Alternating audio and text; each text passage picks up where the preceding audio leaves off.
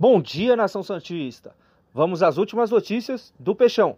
Mas antes, se você é novo por aqui, por favor, já se inscreve no canal e deixa o like para ajudar o nosso canal a crescer, ok?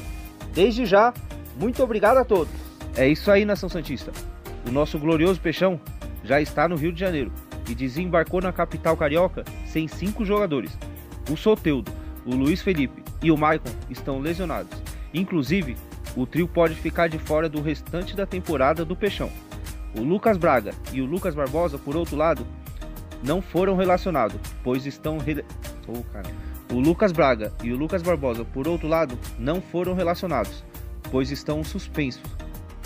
O João Paulo, Luiz Felipe, Lucas Pires, Madison, Rodrigo Fernandes, Zanocelo, Bruno Oliveira, Sanches, Johan Julio, o Angulo e o Marcos Leonardo são jogadores pendurados, ou seja, caso sejam amarelados no jogo de hoje contra o Flamengo, desfalcarão o Santos na próxima partida contra o Atlético Goianiense. Na sua opinião, torcedor do Peixão, levando em consideração todos os desfalques do Santos, qual seria a escalação ideal para o confronto de hoje contra o Flamengo no Maracanã?